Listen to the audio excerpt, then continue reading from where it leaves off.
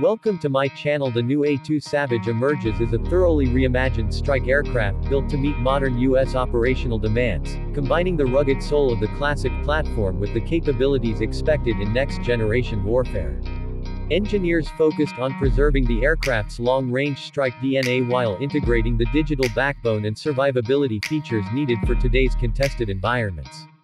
The airframe retains its distinctive wide shoulder stance but now incorporates composite reinforcement, radar-absorbent shaping, and weight-optimized structural elements that extend fatigue life and reduce maintenance cycles.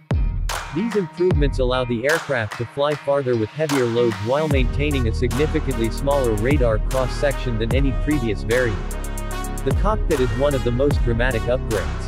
The A2 now features a fully panoramic digital display suite with fused sensor feeds, allowing the pilot to manage targeting, navigation, and defensive systems through a single interface.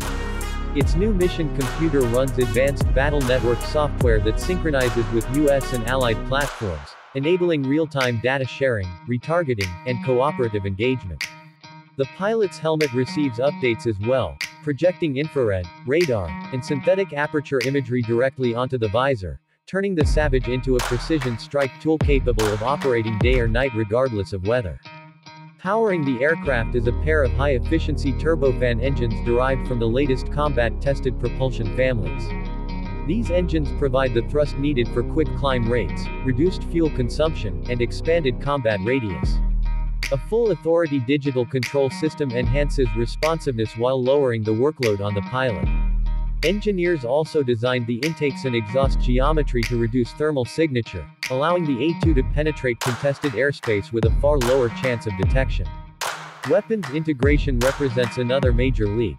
The upgraded A2 supports a flexible loadout configuration centered on internal and semi-recessed weapon bays, enabling it to carry precision-guided munitions, long-range standoff missiles, anti-ship weapons, and electronic attack pods without heavily compromising stealth.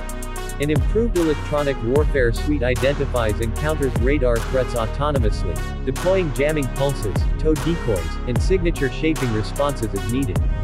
Its expanded fuel capacity and aerial refueling capability give U.S. forces a deep strike platform that can deliver strategic effects from distances unreachable by older designs. With these updates, the new A2 Savage is no longer a relic of early jet age experimentation.